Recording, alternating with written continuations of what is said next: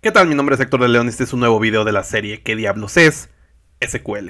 Este video está orientado a personas novatas, por lo cual no va a ser un tema, no voy a abarcarlo a nivel avanzado. Voy a, simplemente hablar sobre SQL, qué es, y rápidamente en un video corto explicarte qué diablos es esta cosa. Va a haber muchas boludeces, pavadas, así que va a ser un video vulgar. Bien, ¿SQL qué es? Las letras de SQL dicen Structured Query Language, que prácticamente si lo traducimos es lenguaje de consulta estructurada. Fue creado allá por los 70s, 1974, por un tipo llamado Donald Chamberlain. Y prácticamente es la base de muchos gestores de base de datos, entre ellos MySQL, Oracle, SQL Server, etcétera, etcétera. Obviamente SQL en, estos gestores cambia algunas cosas. SQL es una propuesta de hacer un lenguaje para base de datos, pero entre cada, cada tecnología, por ejemplo MariaDB se utiliza de alguna forma, MySQL de otra forma, pero casi siempre es muy parecido. No todo, pero sí muy parecido. Lo que vamos a ver en este video prácticamente son las cuatro funciones principales que tienes para, para manejar los datos. Que prácticamente es manejar los datos, insertándolos, consultándolos, eliminándolos y borrándolos. Aquí tengo un gestor famoso llamado SQL Server. Esta herramienta se llama SQL, eh, Server Management Studio. Y vamos a entrar a la base de datos. Vamos a hacer rápidamente una conexión y vamos a crear una base de datos. Para crearla aquí simplemente voy a dar clic derecho en Databases, nueva base de datos y voy a poner el nombre que sea, por ejemplo, que es SQL. Bien, voy a hacer rápidamente una tabla. Aquí solamente te voy a explicar cómo se manipulan los datos, no te voy a explicar cómo se, mm, cómo se definen los datos, que la definición de datos es crear las tablas. Para eso te voy a adjuntar todo un curso de SQL Server a nivel novato, que son 10 videos. Aquí puedes entrar y es gratis y está completo, 10 videos. Bien. Ahora, voy a crear aquí rápidamente una base de datos y te voy a explicar cómo puedes utilizar SQL en tu vida diaria. Imagina que tenemos estas cervezas. Obviamente te iba a dar un ejemplo con cervezas, porque siempre estos videos son un poquito vulgares. Entonces, imagina que tenemos estas cinco cervezas distintas. Obviamente tenemos varias de estas presentaciones o de estas marcas. Aquí nos dice cuánto alcohol tiene y aquí nos dice cuántos mililitros tiene la botella. Tenemos tres botellas de delirium que tiene 350 mililitros y de alcohol tiene 8 grados. Bien, ¿te fijas que esto se parece a Excel? Pero la ventaja que tienes tú con los gestores de base de datos con SQL es que tú puedes obtener la información de manera muy fácil. Mira, vamos a darle aquí New Query. Voy a decirle, quiero que me des la cerveza que tiene más alcohol. Entonces vamos a ponerle select. ¿Te fijas? Aprender SQL es parecido a cuando aprendes inglés. Select asterisco from. La tabla se llama cervezas. Imagínate que es Excel, cervezas. Cuando yo hago esto, me va a traer todas las cervezas. Bien, yo quiero que me traiga la que tiene más alcohol, es decir, la que este su valor sea máximo. Entonces, fíjate, parece inglés. Le voy a decir, tráeme todas, esto significa todas, de la tabla que se llama cervezas, donde, ¿te fijas? Parece inglés. Donde alcohol, alcohol es igual, aquí veo que el mayor que tiene es 14, y vamos a ver, aquí le pongo es igual a 14. Vamos a ejecutarlo y aquí vemos que nos trae exactamente la cerveza que tiene más alcohol. Yo también puedo obtener con, este tipo, estamos haciendo la primera la primer forma que puedes manipular datos. En este caso es seleccionarlos. Bien. Ahora, yo quiero, por ejemplo, que me des la sumatoria de cuántos mililitros tengo de todas las cervezas que tengo. Entonces la sumatoria es esto, el campo mililitros de donde aquí vamos a poner todas, pero tenemos en cuenta otra cosa, que mililitros solamente nos dice por botella, pero tenemos que multiplicarlo por la cantidad. Entonces aquí vamos a poner cantidad por mililitros y ejecutamos. Y aquí nos va a dar el total. Y te fijas cómo el lenguaje es naturalmente te da operaciones que a lo mejor tú te tardarías bastante viéndolas aquí. Igual fíjate lo poderoso del lenguaje SQL, que yo al momento que yo cambie, por ejemplo, aquí mis botellas en lugar de una sean 10, fíjate, esta, esta misma consulta automáticamente me traerá la nueva cantidad, que son 11.050 mililitros. Bien, ahora, yo si quisiera meter nuevas cervezas aquí, hay una forma de hacerlo, con la palabra insert, into, y ponemos la palabra que se llama tu base, tu tabla llamada cervezas, paréntesis, y aquí vamos a poner los, los campos que vamos a, a manipular, que es nombre, alcohol, cantidad y mililitros, separados por coma. Mira, nombre, alcohol,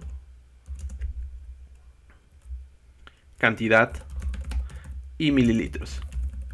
Bien, entonces aquí vamos a poner enseguida la palabra values o values con los paréntesis y en cada orden, como está aquí, vamos a meter los datos. Por ejemplo, aquí voy a poner lo siguiente, voy a poner tecate, vamos a poner alcohol 3, vamos a poner cantidad con comillas, vamos a poner que tenemos 10 de estas y sus mililitros son 350. Entonces al momento que ejecutamos esto, vemos que ya se ha insertado. ¿Cómo puedo verificarlo? Pues ponemos la consulta select asterisco from cervezas. Y esto lo vamos a quitar para ejecutar esto solamente. Y ahí está nuestra cerveza, mira. Ya manipulamos los datos, insertamos. Ahora, supongamos que me he equivocado cuando metí este último dato. Entonces yo puedo editarlo. Ya tenemos la consulta de cómo obtenerlo. Ya pues, digo, cómo podemos obtenerlos, cómo podemos insertarlos. Y ahora para editarlo vamos a hacerlo de la siguiente forma. Voy a comentar aquí con dos guiones y vamos a comentar lo siguiente. Vamos a hacer lo siguiente. Para editar, fíjate, parece inglés. Update, el nombre, seguido de la palabra set. El nombre de nuestra tabla, seguido de la palabra set, de lo que hemos cerrado. Supongamos que hemos cerrado con el alcohol. Alcohol es igual al nuevo valor, que en este caso vamos a ponerle 3.5. Y aquí en automático vamos a ponerle dónde, cuál es el campo que vamos a, cuál es el registro que vamos a editar. Vamos a editar este 6. Entonces, donde el ID, el ID te sirve como un identificador único, te fijas que nunca se repite. Para eso nos ayuda para identificar cuál es el que vamos a editar. Mira, ahí está. Yo si lo selecciono y hago execute, solamente se va a consultar, se va a ejecutar esto. Yo selecciono esto y vamos a ver que el valor ya ha sido editado. ¿Te fijas? Bien. Ahora, por último, ¿qué es lo otro que puedes hacer? Imagínate que te tomas tus cervezas, todas estas, las del ID 2, te las tomaste todas porque eres un borrachote. Entonces, ¿cómo las puedo eliminar? Para eso, fíjate, inglés nuevamente. Aparece curso de Open English. marca fea. Delete.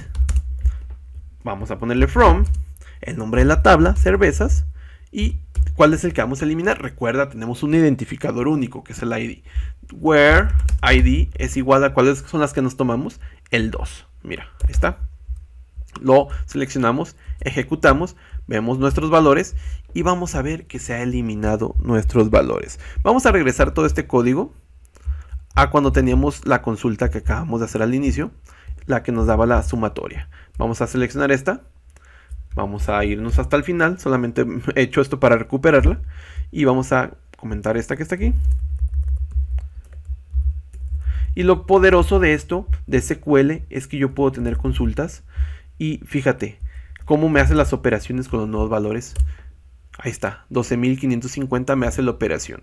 Ya ves el potencial de SQL, puedes obtener datos de manera fácil, puedes obtener datos con operaciones, puedes borrarlos, puedes modificarlos, puedes insertarlos y eso para eso está hecho SQL, para hacer un lenguaje de, obtención de manipulación de datos y obviamente tiene muchísimas más funciones. Por último, vamos a hacer una cosa nueva. También tú puedes ordenar las cosas. Puedes ordenar tus registros con la palabra, otra vez inglés, order by. Quiero que me, los ordenes por el campo nombre. Entonces yo cuando hago esto, lo ejecutamos y fíjate, se ha ordenado por el campo nombre de alfabéticamente. Yo también puedo ordenarlo, por ejemplo, por nombre, seguido, supongamos que tuviéramos dos iguales, vamos a poner otra, otra rápidamente que he metido otro registro rápidamente, que es otra Fuller, pero es una presentación de un litro. Voy a dar a ejecutar esto.